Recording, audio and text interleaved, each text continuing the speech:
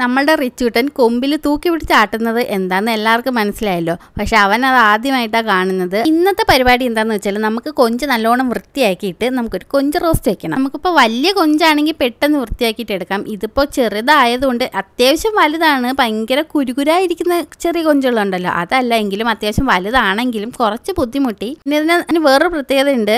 ചിലർക്ക് ഭയങ്കര അലർജിയാണ് എനിക്കും ഭയങ്കര അലർജിയാണ് കേട്ടോ. കൊച്ചിലൊന്നും കഴിക്കാൻ പറ്റത്തില്ലായിരുന്നു. പിന്നീടാണ് മനസ്സിലായത് ഇതിന്റെ ഈ നടുക്ക് അതായത് അതിന്റെ മുതുകത്ത് ഒരു ഞരമ്പ് പോലൊരു സംഭവം ഉണ്ട് അതെടുത്ത് കളഞ്ഞാൽ കഴിക്കാൻ പറ്റുമെന്ന് വലുതായതിനു ശേഷം അതായത് പ്ലസ് ടു ഒക്കെ ആയതിനു ശേഷമാണ് നമ്മൾ യൂട്യൂബ് ഫേസ്ബുക്ക് ആ ഒരു ഫേസ്ബുക്ക് എന്നൊന്നും ഇല്ലായിരുന്നു എനിക്ക് അക്കൗണ്ടൊന്നും ഇല്ലായിരുന്നു. എങ്കിലും ഫേസ്ബുക്കൊക്കെ ഇറങ്ങിയ സമയമാണെന്ന് തോന്നുന്നു ഞങ്ങൾ ഡിഗ്രി ഫസ്റ്റ് ഇയർ ആ ഒരു സമയമൊക്കെ ആയപ്പോഴത്തേക്കാണ് ഇതിനെ പറ്റിയിട്ട് കൂടുതൽ അറിഞ്ഞു തുടങ്ങിയത്. ഇത് ഇങ്ങനെയൊക്കെ ആണ് ഇങ്ങനെ ചെയ്താൽ ഇങ്ങനെ കഴിക്കാം എന്നൊക്കെ അറിഞ്ഞു തുടങ്ങിയത് ആ സമയത്താണ്. അതിനുശേഷം എപ്പോൾ വാങ്ങിയാലും അതിന്റെ മുതുകത്തെ ആ ഞരമ്പ് ഞങ്ങൾ എടുത്ത് കളയാറുണ്ട്. അങ്ങനെ നന്നായിട്ട് ക്ലീൻ ചെയ്ത് എടുത്ത കൊഞ്ചിലേക്ക് മുളക് പൊടി മഞ്ഞപ്പൊടി ഉപ്പ് ഇത് ഇത്രയും കൂടി ഇട്ടിട്ട് നന്നായിട്ട് അതിൽ വെച്ച് പിടിപ്പി തേച്ച് നന്നായിട്ട് പെരവി പിടിപ്പിച്ചിട്ട് അതിന് ഫ്രിഡ്ജിലോട്ട് ഒരു അരമണിക്കൂർ മാരിനേറ്റ് ചെയ്യാൻ വെക്കണം. ഞാൻ കുറച്ചും കൂടി മുളക് പൊടി ഇട്ടായിരുന്നു. ആദ്യം ഇട്ടപ്പോഴത്തേക്ക് അത്രയ്ക്ക് ആയിട്ടില്ലായിരുന്നു. പിന്നീട് അതിന് വേണ്ടത് ചെറിയ ഉള്ളിയാണ്. വലിയ ഉള്ളി ഇട്ടാൽ അത്ര ടേസ്റ്റ് ഉണ്ടാവില്ല. ചെറിയ ഉള്ളി അതും കുറച്ച് പണിയാണ്. കുറച്ച് നേരം ഇരുന്ന് ഒന്ന് തൊലിച്ച് അരിഞ്ഞെടുക്കണം. ഈ ചെറിയ ഉള്ളിയെ ബൂസ്റ്റ് എങ്ങാണ്ട് കഴിച്ച് വളർന്നതാണെന്ന് എനിക്ക് തോന്നുന്നു. അത്യാവശ്യം വലുതായിരുന്നു. ഇനി നമുക്ക് തുടങ്ങാം. പാൻ അടുപ്പത്തേക്ക് ചൂടാകുമ്പോഴത്തേക്ക് എണ്ണ ഒഴിക്കുക. എണ്ണ ഒന്ന് ചൂടായി വരുമ്പോഴത്തേക്ക് നമ്മുടെ ഫ്രിഡ്ജിൽ നിന്ന് എടുത്ത് മാരിനേറ്റ് ചെയ്ത് വെച്ചാൽ കൊഞ്ചെടുക്കുക. അതിലോട്ട് ഇടുക. ഭയങ്കരമായിട്ട് ഡീപ്പ് ഫ്രൈ ഒന്നും ആവണ്ട. ഡീപ്പ് ഫ്രൈ ഒക്കെ ആയ കൊഞ്ച് ഭയങ്കര റബ്ബർ മാതിരി ആയി പോകും. ഇതിപ്പോ ഇങ്ങനെ അടുക്കി ഇട്ടെന്ന് വെച്ചിട്ട് കുഴപ്പമൊന്നുമില്ല. ഒന്നൊന്നായി ഇടണമെന്നൊന്നുമില്ല. അത് ഒരു ഒന്നൊന്ന് ചൂടാകുമ്പോഴത്തേക്ക് തന്നെ കുഞ്ഞായിട്ട് ചുരുണ്ട്. എന്ന് വെള്ളം ശരിക്കും ഊറി ഇറങ്ങും. കുറച്ച് നേരം കിടക്കുമ്പോഴത്തേക്ക് വെള്ളമൊക്കെ പറ്റി ആൾ എണ്ണയിൽ എണ്ണ മാത്രമായിട്ട് തെളിഞ്ഞു വരും. ഇതാ ഇതുപോലെ നല്ലതായിട്ട് വെള്ളം ഇറങ്ങി വരും കേട്ടോ. കൊഞ്ച് കണവ ഞണ്ട് അതിൽ നിന്നൊക്കെ ഇഷ്ടം പോലെ വെള്ളം ഇറങ്ങി വരും. ഇനിയിപ്പോൾ ഇതങ്ങ് വറ്റി പോയിട്ട് ആദ്യം ഒഴിച്ചത് ആദ്യം നമ്മൾ ഒഴിച്ച ആ എണ്ണ മാത്രമായിട്ട് തെളിഞ്ഞു വരും. ഈ ഒരു വെള്ളം പറ്റുന്ന സമയം കൊണ്ട് തന്നെ അതൊന്ന് സോഫ്റ്റ് ആയിട്ട് ഫ്രൈ ആയിട്ട് വരും. അതിനുശേഷം കുറച്ച് നേരം കൂടെ ഒന്ന് ഇട്ടാൽ മതി ഞാൻ നേരത്തെ പറഞ്ഞില്ലേ ഒരുപാട് നേരം ഇട്ടിരുന്ന് ഭയങ്കര ഡീപ്പായിട്ട് ഫ്രൈ ആയ റബ്ബർ മാതിരി ആയിപ്പോവും. വെള്ളമൊക്കെ വറ്റി എണ്ണയിൽ കിടന്ന് അത്യാവശ്യത്തിന് മൊരിഞ്ഞ് വെന്തിട്ടുണ്ട്. ഇനി നമുക്കൊരു പാത്രത്തിലേക്ക് കോരി മാറ്റാം. അതിൽ കിടക്കുന്ന എണ്ണ നമുക്ക് ആവശ്യമുണ്ട്. അതിലാണ് നമ്മുടെ റോസ്റ്റിന് ആവശ്യമുള്ള സാധനങ്ങളൊക്കെ വഴറ്റിയെടുക്കാനുള്ളത്. സത്യം പറഞ്ഞാൽ നല്ല മണമുണ്ട് കേട്ടോ. ഈ മണം അടിച്ചിട്ട് പറയുന്നു ഓരോരുത്തരും ഇങ്ങനെ കറങ്ങി നടപ്പുണ്ട്. പക്ഷെ വേണ്ട കൊടുത്ത ശരിയാവത്തില്ലോ രണ്ടു പേർക്ക് പറക്കാനേ ഉള്ളൂ അപ്പൊ നമ്മുടെ ആ ബാക്കി വന്ന എണ്ണയിലേക്ക് കടുകിട്ട് പൊട്ടിച്ചിട്ട് നമ്മുടെ കുഞ്ഞുകുഞ്ഞ അരിഞ്ഞു വെച്ച ചെറിയ ഉള്ളീനെ വഴറ്റി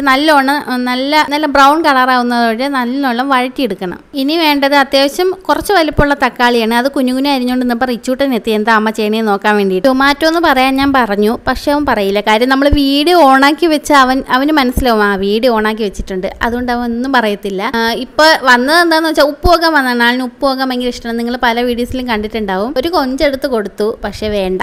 വേണ്ടാത്തോണ്ടാണ് ഇപ്പൊ ഒരു പോക്ക് പോകുന്നു അമ്മയ്ക്ക് വേണമെങ്കിൽ അമ്മ തിന്നോ എന്നുള്ള ഭാവത്തിലാണ് പോയേക്കുന്നത്. ഇനിയിപ്പോ വന്നേക്കുന്നത് എന്താന്ന് വെച്ചാൽ അവിടെയൊക്കെ ഒന്ന് വേരവണം അത്രേ ഉള്ളൂ. ചെറിയുള്ളി നല്ല ഗോൾഡൻ ബ്രൗൺ കളർ ആയിട്ടുണ്ട്. ഇതിലേക്ക് നമുക്ക് ഇഞ്ചിയും വെളുത്തുള്ളിയും ചതച്ചത് ഇടണം. നിങ്ങൾക്ക് നിങ്ങൾക്ക് എത്ര വേണോ അത്ര ഇട്ടോളൂ കേട്ടോ. ഞാൻ അരക്കിലോ കിലോ കൊഞ്ചിന് വേണ്ടിയിട്ടുള്ള സംഭവമാണ് ഇട്ടേക്കുന്നത്. ചിലർക്ക് ഇഞ്ചി വെളുത്തുള്ളിയൊക്കെ ഇടണം എന്നുണ്ടാവും അവർക്ക് അങ്ങനെ ഇടാം. പിന്നെ വേണ്ടത് മുളക് പൊടി മല്ലിപ്പൊടി ഗരം മസാലപ്പൊടി. ഇത് ഇത്രയും കൂടി ഇട്ടിട്ട് മസാല റെഡിയാക്കി ഒന്ന് മൂപ്പിച്ചെടുത്തിട്ട് അതിലേക്ക് നേരത്തെ അരിഞ്ഞു വെച്ചിരുന്ന തക്കാളി ഇട്ട് ഒന്ന് വഴറ്റിയെടുക്കണം. തക്കാളി നല്ലപോലെ ഒന്ന് ഇളക്കിയിട്ട് മസാലയൊക്കെ അതിൽ പിടിക്കാൻ വേണ്ടിയിട്ട് ഇളക്കണം. എന്നിട്ട് അടച്ചു വെച്ചൊന്ന് വേവിക്കണം. അപ്പോൾ തക്കാളി നല്ലോണം വാടി വരും. അത് കഴിഞ്ഞിട്ട് അതിലേക്ക് നമുക്ക് ആവശ്യത്തിന് വെള്ളം ഒഴിക്കാം ഞാനിപ്പോൾ തിളപ്പിച്ച വെള്ളമാണ് ഒഴിച്ചെടുത്തേക്കുന്നത് ഞാനിപ്പോൾ ആ മസാലയ്ക്ക് വേണ്ട അരക്കപ്പ് വെള്ളം ഒഴിച്ചിട്ടുണ്ട്. എന്നിട്ട് ആവശ്യത്തിന് ഉപ്പ് ഇട്ട് കൊടുക്കുക. എന്നിട്ട് ടേസ്റ്റ് ചെയ്ത് നോക്കുക. എങ്കിലും എങ്കിലേ ഉപ്പുണ്ടായില്ലെന്ന് അറിയാൻ പറ്റത്തുള്ളൂ. എന്നിട്ട് അതൊന്ന് തിളച്ച് വരുമ്പോഴത്തേക്ക് നമ്മളുടെ ഫ്രൈ ചെയ്ത് മാറ്റി വെച്ചിരുന്ന കൊഞ്ചിട്ട് നന്നായിട്ട് ഇളക്കി. എന്നിട്ട് കറിയപ്പല ഇട്ട് കൊടുക്കുക. കറിയപ്പല കരിവേപ്പില എന്ത് വേണമെങ്കിലും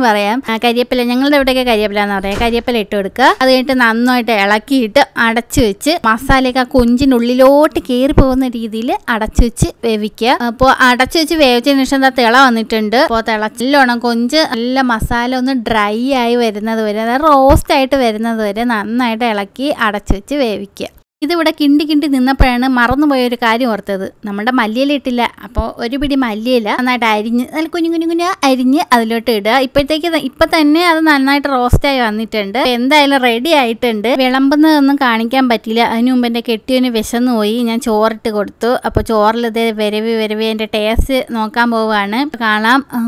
നമുക്ക് നോക്കാം. എനിക്ക് പേടിയാണ് എന്തെങ്കിലും ഉണ്ടാക്കി കൊടുത്തിട്ട് ടേസ്റ്റ് എന്താണ് പറയാൻ പോകുന്നതെന്ന്. ആ ഇഷ്ടപ്പെട്ടു. ഇഷ്ടപ്പെട്ടെന്ന് കൊണ്ട് എനിക്ക് ക്യാമറയ്ക്ക് മുമ്പിൽ പറഞ്ഞു നടന്നെന്ന് എനിക്കറിയില്ല. പക്ഷേ ഞാൻ ഉണ്ടാക്കിയത് കൊണ്ട് പറയില്ല കേട്ടോ. എനിക്കിഷ്ടപ്പെട്ടു ഇനിയിപ്പോൾ ഇങ്ങനെ അല്ലായിരിക്കും റോസ്റ്റ് ഉണ്ടാക്കുന്നത്. ഞാനിങ്ങനെ ഉണ്ടാക്കുന്നേ. അതുകൊണ്ട് ഞാൻ നിങ്ങളെ കാണിച്ചു തന്നു. പലർക്കും പല രീതിയിൽ പല അഭിപ്രായങ്ങളാണ്. പലരും പല രീതിയിലാണ് ചെയ്യുന്നത്. അപ്പോൾ എനിക്കിഷ്ടപ്പെട്ടു. എന്തായാലും ഞാൻ ഉണ്ടാക്കിയില്ല? കഴിഞ്ഞ രണ്ട് മണിക്കൂറായിട്ട് നിന്നതല്ലേ. എനിക്കിഷ്ടപ്പെടണമല്ലോ. Tata see you.